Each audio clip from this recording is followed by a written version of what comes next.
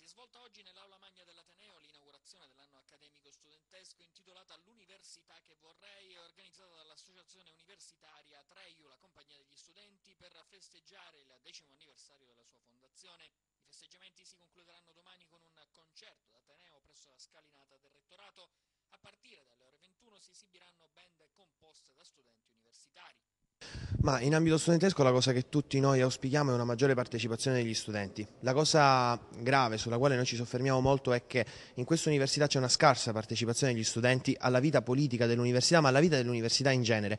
Allora quello che noi auspichiamo è che si riesca in effetti a coinvolgere gli studenti a fare aggregazione all'interno dell'università. Soltanto così allora potremo avere dei risultati politici che siano risultati validi, che siano risultati buoni effettivamente, perché serve una forte partecipazione. A votare va soltanto il 15-20% degli studenti per ogni elezione. Noi quello che vogliamo fare è ricoinvolgere gli studenti, poi se chiaramente sceglieranno Treio la cosa potrà solo farci piacere, ma l'importante intanto è coinvolgere gli studenti e fare risentire nuovamente l'università come una cosa propria. Lo studente deve sentire l'università sua